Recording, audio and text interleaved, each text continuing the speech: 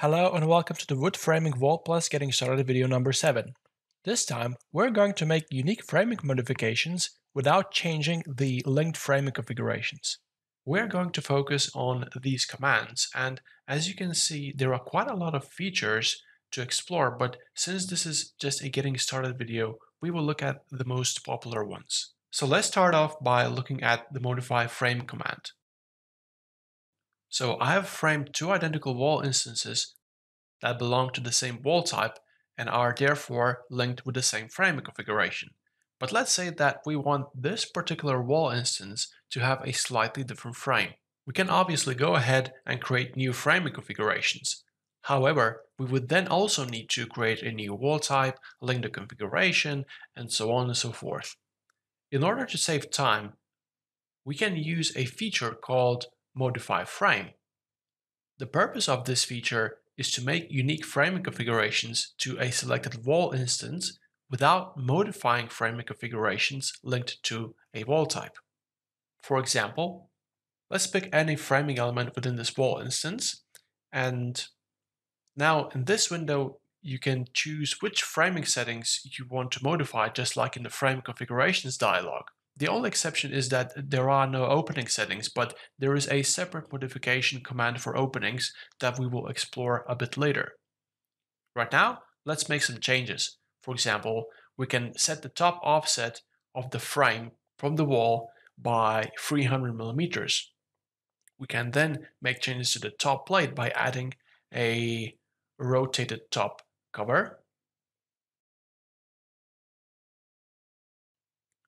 We can also make some changes to nogging elements. So for example, we can, uh, by ticking this box, we can make every second horizontal nogging element vary in offset height from the bottom of it, the wall.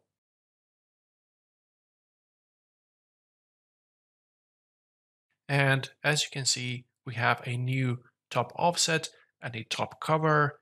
The nogging has also been updated. And remember that the unique framing settings we applied to this wall instance didn't affect the framing configurations linked to this wall type. So even if I created a new wall instance, it would, it would still be framed using the original framing configuration. In the meantime, if you want to make any changes to the wall instance itself, for example, you need to raise the wall height by 500 millimeters then the unique framing settings will be retained so long as you use the update frame command. And as you can see, the modified frame has been automatically updated. As you already know, these unique framing modifications apply only to this wall instance. But we can create a new framing configuration based on these settings by navigating to Save Configuration and then we need to pick any element. And now you can type in any name you want. And as a result, this new configuration will appear in the framing configurations dialog, and it can also be linked with any wall type. If you decided that you no longer want to use these unique framing settings, then you can always restore the original framing by updating the wall by link or by reframing the wall with the frame wall command. Now let's look at the modify opening command. With this feature, you can apply unique framing modifications to a selected opening instance.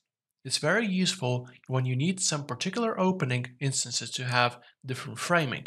For example, these two windows belong to the same wall type, but if we clicked on this window, we can make framing changes specifically to this window instance. For example, let's make some changes to the header by removing the rotated headers. And then we can also reduce the horizontal header count to just one. By the way, if you want to learn more about opening configurations, don't forget to check the Wood Wall Plus tutorial number 5. And as a result, the framing around this window instance has been updated without affecting the linked window configuration. Again, if there are any changes to the position of an opening instance, uh, for example, let's say that the client wants to move this window to the right, but also wants to keep its unique framing settings, then we can simply click on Update Frame command and pick any framing element.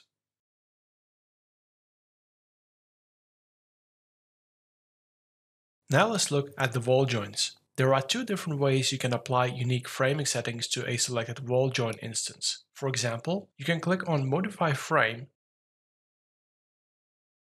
and then head to Any Connection Settings on the left. Notice that there are two tabs, one for Free Start and the other for L Inner Corner Connection. That's because the tool recognizes what types of joints this wall instance has at the start and at the end of the wall. If you want to learn more about wall joint configurations in general, check out the Wood Framing Wall Plus tutorial number 4. In the meantime, the second way to apply unique framing settings to a wall joint is by using Modify Wall Joint feature under Modify Other. With this feature, you can choose any wall joint you want to modify in the model.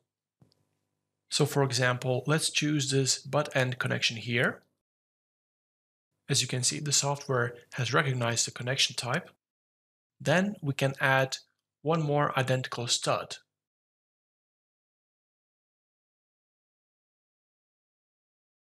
As a result, only this wall joint has been updated, and you can see the differences between these unique framing settings and the original framing configurations.